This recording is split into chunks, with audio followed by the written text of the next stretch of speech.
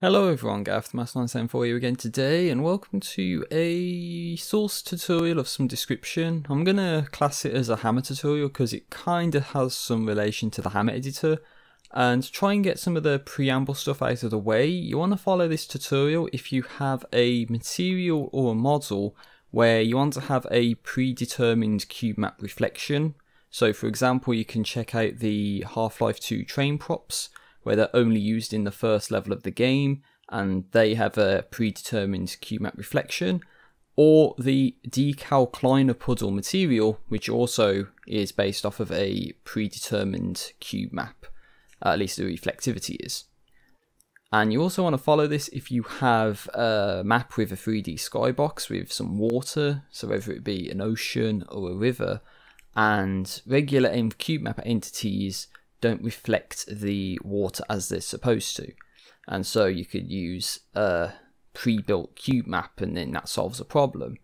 Uh, Sin Episodes Emergence's High Rise 03 level, for example, would be a good case where this is, well, the case. And so you need to follow this kind of tutorial to get reflections to work as they're supposed to.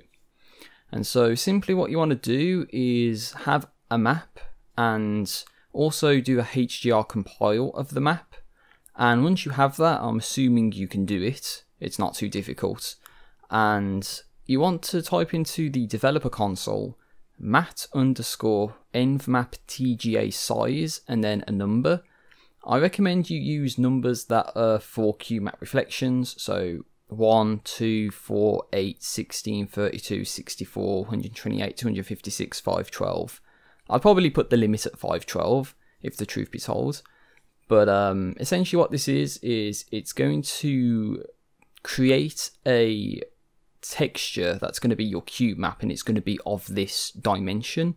So, for example, it defaults to 32. So, in the next step, what I'm going to tell you, your textures will be 32 by 32. If you want it to be any smaller or bigger than that, then you change the number in this uh, variable to whatever number you want. So in my case, I change it to 256. And then you want to get into a position where you want to base your reflections off of. Now this can be quite difficult and I'm using Garry's mod so you could just use the camera tool and just place a camera down where you want to though your character model or the phys gun can get in the way so you want to no clip out of the area that you're in and then also if it's for the 3D skybox, which is what I'm doing, then you can use the console parameter r underscore 3D sky 0 to disable the 3D skybox. That way that doesn't get in the way. Uh, and once you have your situation set up, I advise you start in LDR mode, so you do mat underscore HDR level 0. And then you just type in the console parameter envmap. And then what it does is it almost looks like the build cube maps when you do that um, but it's doing it in one instance where you're located.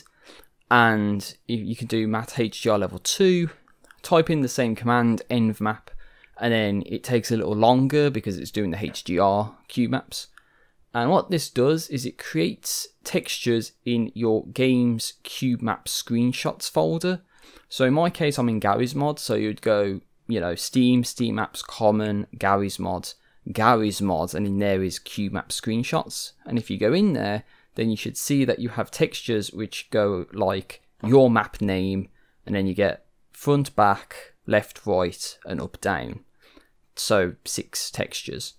And if you do LDR and HDR, then you end up with 12. Um, so you get 6.tga files and 6.pfm files. Uh, the PFM files are for the HDR cube maps.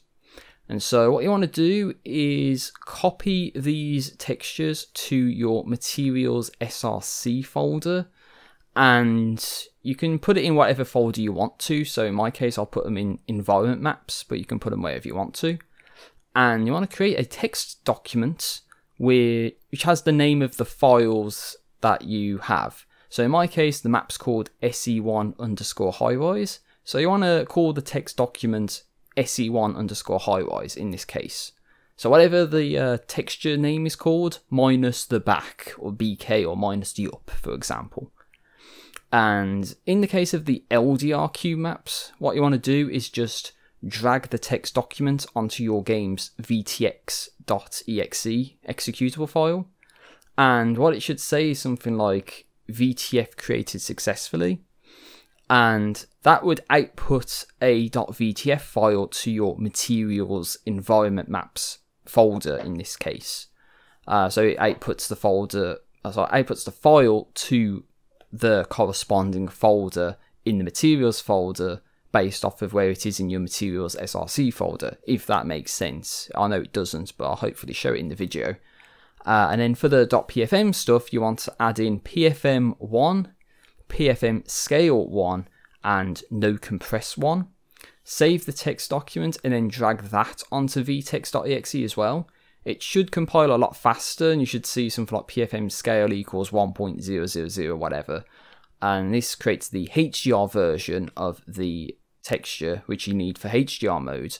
Uh, and so if you go into in my case materials environment maps then you should have se1 underscore highrise.vtf and se1 underscore highrise.hdr.vtf and so you can look into the file with something like VTF edit and you should see you have the faces of the reflection oriented in the correct way.